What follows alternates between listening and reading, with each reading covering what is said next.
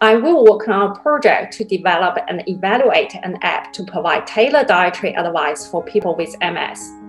The app will be used to support people with MS to self-manage their food choices to follow the Australian dietary guidelines. All the thinking and planning on food choices will be done by the app. The project will engage dietitians and people with MS to develop the app. This approach will make sure the app reflects what really matters to people with MS. Using the app will help people with MS to measure their diet with reduced stress lower cost, and great availability of support.